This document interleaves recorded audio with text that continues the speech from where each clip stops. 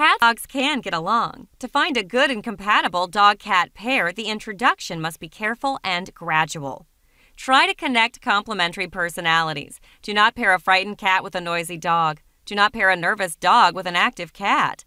Even though the dog is a social being, keep in mind that playfulness and excitement can get out of hand in some situations.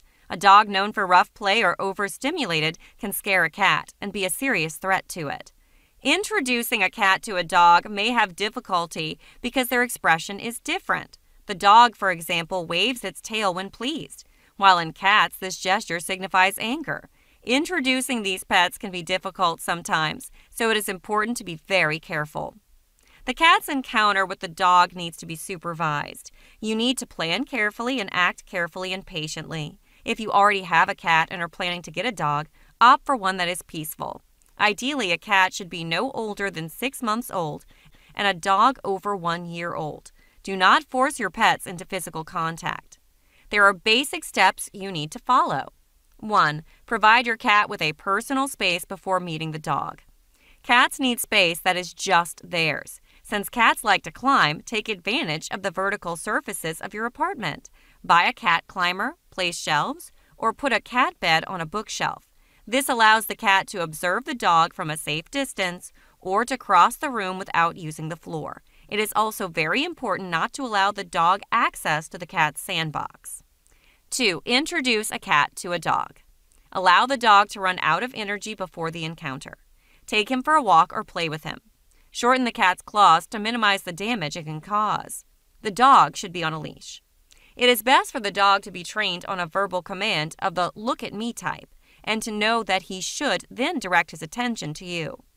If the dog is not relaxed, move it away from the cat. As the dog relaxes, so approach.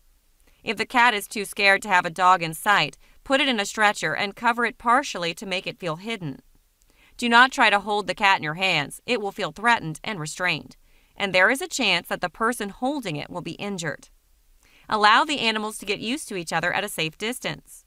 Speak in a calm voice. Make the voice deeper. Do not speak in an excited voice. The dog will look up to you, and if you are excited, he'll be excited too, which can scare the cat away. When your pets have spent some time together, separate them. Keep meeting them several times a day until they get used to each other. The personal area of cats is wider than the area of dogs, and they must respect it. The cat must determine how much the dog will allow her to approach. 3. Keep food and toys separate. Once you have introduced them, keep food and toys separate. The cat will try to reach the dog's food bowl while the dog is eating or nearby and try to eat from there. To prevent this, they should eat at certain times and keep their bowls in separate parts of the house, or place a cat bowl in a high place. Competing for toys can also lead to an altercation. 4. Give them love and attention. By no means let your pets feel neglected and spend enough time playing with both. Don't neglect the first pet to pay more attention to the new pet and vice versa. Make them feel loved to avoid jealousy scenes. If you manage to make friends between these two wonderful pets, expect a community where love and unforgettable moments of tenderness and laughter will reign. Now, if you enjoyed this or if you found it helpful, please make sure to like and subscribe. Peace.